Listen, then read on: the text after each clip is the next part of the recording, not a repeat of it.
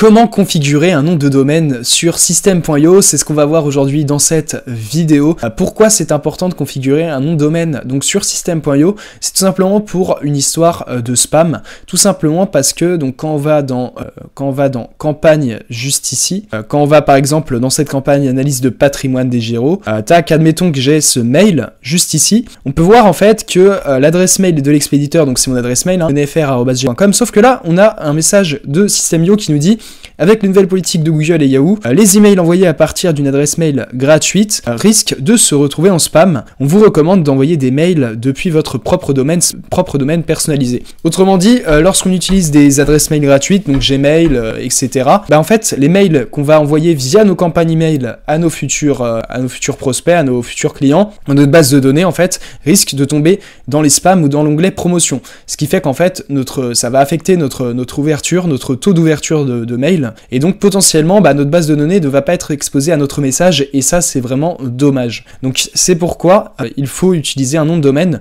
pour que euh, pour qu'on soit bien sûr en fait que, euh, que nos mails soient reçus par notre base de données et nos prospects, de manière à ce qu'ils puissent les lire et qu'ils puissent par la suite bah, interagir avec nos offres. Donc voilà, c'est hyper important, sinon ça risque d'affecter le taux d'ouverture de tes mails. Donc pour ça, il faut configurer un nom de domaine et c'est ce qu'on va voir maintenant. Moi, ce que je te conseille de faire, c'est d'utiliser donc OVH et donc en fait, c'est une entreprise euh, qui te permet, euh, qui te fournit des hébergements, euh, des hébergements web, des serveurs, etc.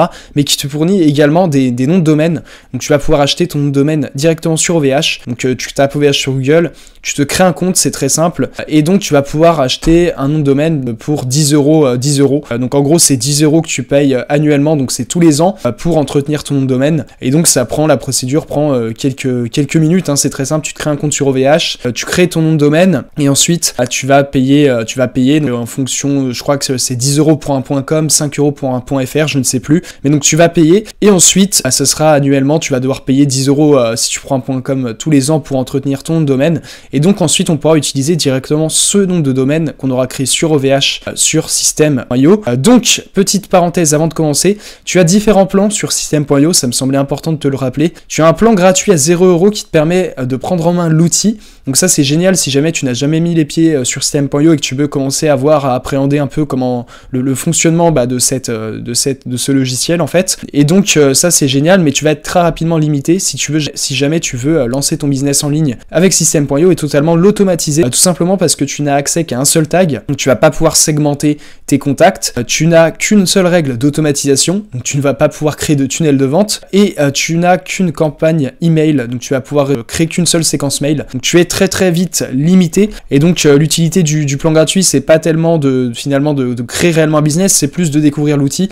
Mais si tu veux vraiment lancer ton business avec système pour l'automatiser et te créer une vraie source de revenus complémentaires, je te dirige euh, donc vers le plan startup à 27 euros par mois, tout simplement parce qu'il te permet d'accéder à 10 tags. Donc là, tu vas pouvoir segmenter euh, tes contacts, donc tu vas pouvoir proposer euh, les bonnes offres aux bons contacts et tout simplement bah, tes, tes mails ne vont pas tomber dans les spams ou dans les promotions. Ensuite, tu as 10 campagnes email que tu vas pouvoir créer. Donc là, tu vas pouvoir vraiment segmenter tes audiences, euh, tes offres, donc ça c'est génial. Et ensuite tu as direct d'automatisation où tu vas pouvoir créer des tunnels de vente et totalement les automatiser. Euh, donc ça c'est vraiment le gros plus, on va bénéficier de la pleine puissance de système.io et faire tourner ton business en automatique, il te faut au minimum le plan startup à 27 euros par mois qui est largement suffisant. Moi je suis sur le webinar parce que j'ai énormément de tags, euh, j'ai beaucoup de systèmes, mais le, le startup suffit amplement si tu veux débuter avec système.io. Donc c'est parti, on va voir comment configurer un nom de domaine sur system.io. Ça, va se rendre encore une fois dans les paramètres. Et donc là, tu vois que moi, j'ai un domaine qui est en validation.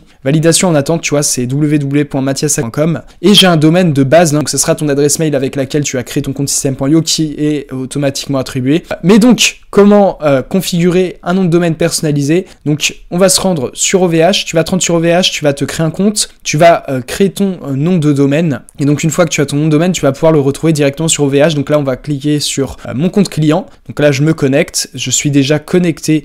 Donc, je vais cliquer sur continuer. Ensuite, une fois que tu arrives sur OVH, tu vas cliquer sur Web Cloud juste ici. Et là, tu as plusieurs sections, dont la section nom de domaine. Donc, on clique dessus. Et là, on voit qu'il y a mon nom de domaine, Mathias. Je clique dessus juste ici. Je vais le copier. Tac, je vais le copier, je vais aller sur donc system.io, je vais cliquer sur ajouter un nom de domaine. Là je vais mettre www.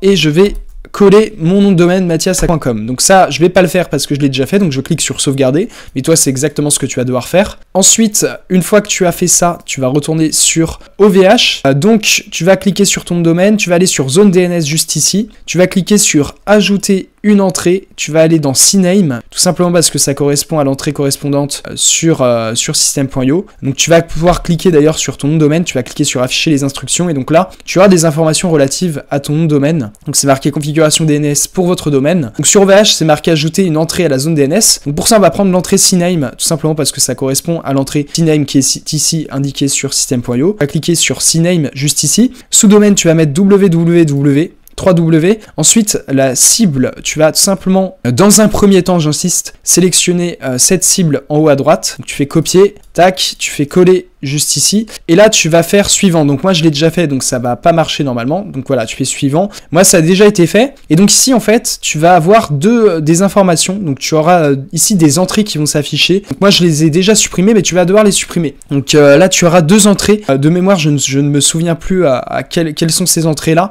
Mais en général, c'est des, des lettres. Donc tu vas mémoriser ces deux entrées. Et en fait, tu vas tout simplement les rechercher juste ici. Donc tu vas taper les entrées correspondantes. Tu vas rentrer les entrées ici dans recherche domaine et tu vas les supprimer. Donc tu vas cliquer sur et tu vas cliquer sur supprimer pour euh, les entrées correspondantes. Une fois que c'est fait, tu vas devoir attendre 24 heures au bout de 24 heures, on va pouvoir procéder à la deuxième étape. Euh, donc la deuxième étape, elle est, euh, elle est simple. On va encore une fois cliquer sur ajouter une entrée juste ici. On va retourner sur CNAME. cette fois-ci, dans cible, on va sélectionner la cible qui est à droite. Tac, on va copier. Hop, on va faire coller ici. Et euh, pour le sous-domaine, on va pas mettre 3 fois W cette fois-ci, mais on va copier donc l'entrée ici à gauche et on va la coller ici, tac. Et donc là, on va retirer, euh, on va retirer le mathias.com puisqu'il est déjà indiqué le point mathiasacmonet.com on le retire. Et là, je vais euh, cliquer sur suivant. Euh, donc voilà, type de champ. Donc là, normalement, tout est bon. Et je clique sur valider. Et voilà, l'entrée a été ajoutée euh, dans la zone DNS. Mais veuillez prendre en compte le temps de propagation, maximum 24 heures. Donc là, je vais devoir attendre 24 heures. Et normalement, mon nom de domaine va être validé. Et donc, je pourrais l'ajouter sans aucun problème sur system.io. donc là, c'est marqué validation en attente. Donc je vais recharger. Hop, validation en attente. Donc on va attendre. Donc pour résumer euh, rapidement, pour, euh, faire euh, un petit résumé de la procédure, c'est très simple. Hein. donc tu vas dans ajouter une entrée, tu vas dans CNAME. Ensuite, donc première étape, tu ajoutes www ici, www, 3 fois W. Ensuite, tu vas prendre la cible ici à droite, tac, tu prends ça, tu prends le, le premier CNAME à droite, tu le colles, tu fais suivant. Là, ici, tu auras tout simplement des entrées qui vont être indiquées. Tu en as deux et tu vas devoir les supprimer. Donc, tu vas devoir les rechercher ici, donc recherche domaine, et ensuite tu vas les supprimer. Là, tu vas attendre 24 heures une première fois, euh, normalement. Et ensuite, deuxième étape, donc celle que je viens de faire, tu vas copier le deuxième CNAME à droite ici. Tu vas refaire ajouter une entrée CNAME. Tu vas aller, dans cible, tu vas coller euh, donc ça ici. Et ensuite, tu vas prendre le CNAME à gauche, donc euh, l'adresse ici, copier, et tu vas la coller comme je l'ai fait tout à l'heure, et tu supprimes bien entendu le point mathias.com, enfin toi, ton nom de domaine correspondant. Et tu fais suivant, et là tu vas devoir attendre 24 heures. Et donc là, dans 24 heures, normalement, mon nom de domaine sera disponible et ajouté sur system.io. Et donc maintenant, ce que tu vas pouvoir faire, c'est te rendre dans tes tunnels de vente par exemple. Tu vas aller sur la page de vente débuter en bourse. Et donc là, tu vas pouvoir modifier l'adresse mail euh, qui sera utilisée pour tes tunnels de vente. Donc là, c'est marqué nom de domaine du tunnel. Donc là, c'est mon adresse mail de base sur System.io. Mon nouveau nom de domaine n'est pas encore disponible parce qu'il est en attente euh, de validation.